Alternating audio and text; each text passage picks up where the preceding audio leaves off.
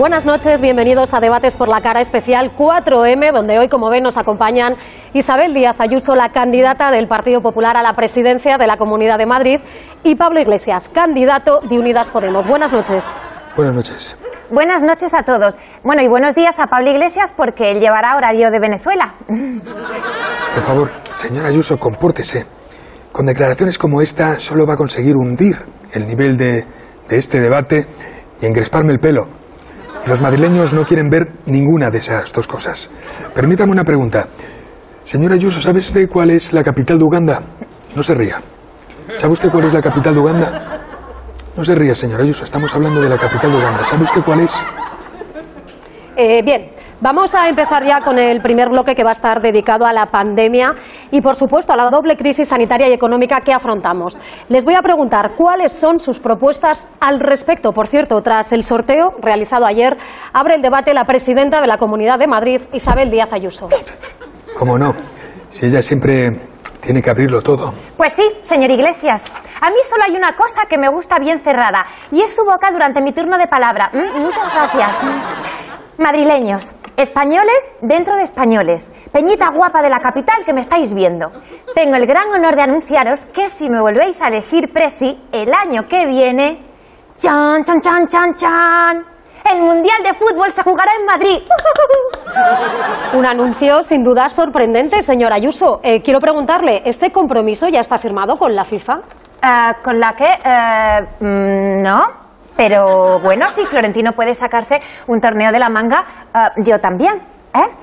Pues sí, alucinar en Colorinchis. El mismo 5 de mayo empezamos a construir el macroestadio que albergará el Mundial de 2022, el Estadio Isabel Zendal.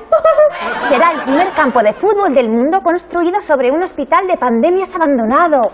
Va a ser una competición increíble y que seguramente ganará la selección de Madrid. Sí, nuestra comunidad va a jugar el Mundial y lo hará con Mbappé de delantero. Sí, Mbappé podrá fichar por mi selección porque después de este año la mitad de los franceses, bueno, se habrán empadronado en Madrid.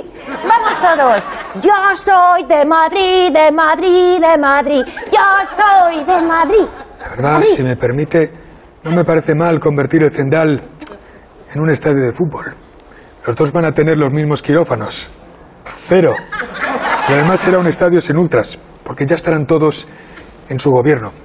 En fin, volviendo a Madrid, lo que esta comunidad necesita es un presidente capaz de parar al coronavirus y a una pandemia aún peor, el fascismo. No pasarán, no pasarán. Arriba, parias de Arganzuela. En pie Vallecas y Alcorcón.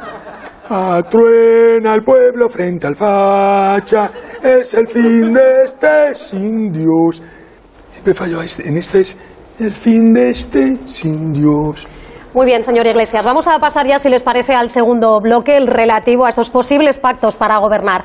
En esta ocasión empieza el candidato de Unidas Podemos, señor Iglesias. Le pregunto, ¿con quién está usted dispuesto a pactar para gobernar la Comunidad de Madrid? Bien, como todos los españoles saben, yo tengo una amplia experiencia en coaliciones de gobierno. Menos con la extrema derecha, estoy dispuesto a pactar con todos. Y seguro que lo consigo. Porque yo no molesto mucho. Pacto, toco un poco las narices y después me voy a otra cosa. De hecho, después de la Comunidad de Madrid, tengo pensado asaltar la vicepresidencia de otra institución nacional. El Club de Fans de Pablo Iglesias. Sí, la presidencia es inalcanzable, porque la ocupa Echenique y a ese no hay quien le quite el asiento.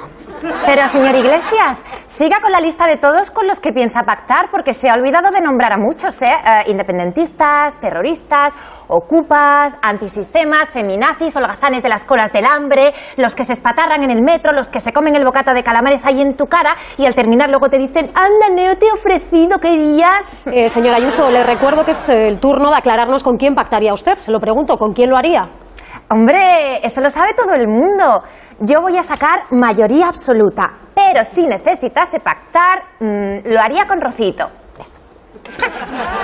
Madre Dios, qué disparate. ¿Pero qué dice, señor Ayuso? Rocito no se presenta a las elecciones. Rocito la buena, Rocito Monasterio. Me gusta llamarla así, bueno, porque aunque ella no sea hija de la más grande, es heredera de una grande. Bueno, de una grande y libre. ¡Qué chispa tengo, eh! Pues estamos llegando a la recta final del debate. El minuto de oro es el turno del candidato de Unidas Podemos, Pablo Iglesias. Adelante, señor Iglesias. Bien, madrileños, me vais a permitir que me ponga un segundo intenso. Bueno, más intenso todavía. En estas elecciones quiero dirigirme a aquellos que votáis por primera vez, jóvenes de Madrid. Puede que Ayuso os haya conquistado abriendo los bares toda la pandemia, pero yo voy a hacer la otra cosa que más os gusta después de beber. Un TikTok.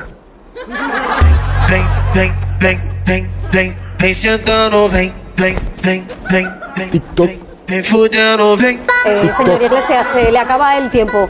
¿Alguna otra propuesta aparte de este baile? Eh, bueno, sí, bueno, después ya haremos lo de siempre. Vamos, vamos a cambiar un montón de cosas y las cloacas nos tienen manía, bueno, en fin, lo típico. Es su turno, señora Ayuso. Tiene un minuto que empieza ahora. Señora Ayuso, está corriendo el tiempo. Que no, y que corra, déjale, que el tiempo también es libre, es libre. Bueno, este es el momento en el que usted puede pedir el voto a los ciudadanos. ¿Pero para qué? ¿Eh? Los ciudadanos ya saben que yo soy la única que puede garantizarles la libertad. Si fuera el yugo comunista, bolígrafo, sé libre. Papeles, papeles, volad, volad hacia la libertad. Madrileños, liberaos de todo lo que os oprime. ¡Ay! ¡Oh, qué bien! ¡Adiós, zapatos! ¡Adiós! ¡Hola, piececillos! ¡Hola! ¡Hola, manos con sus deditos todos libres! ¡Ay, qué monos son! Mira, este se fue a por leña, porque en Madrid puedes comprar cualquier cosa. Este se fue a por huevos, porque el súper no cierra nunca en esta comunidad. Este encendió el fuego, este frió los huevos, porque trabaja en un bar gracias a que la presi lo dejó abierto. Y este, este es un batasuno comunista que se despierta a las 3 de la tarde y se come todo y vive de subvenciones y es un tío muy malo. Y luego vendrán los Bien, creo que es el momento de despedir esta edición de Debates por la Cara. Muchas gracias de nuevo a los dos candidatos por estar hoy aquí con nosotros. Les deseo mucha suerte, sobre todo para los madrileños que la van a necesitar. Gracias.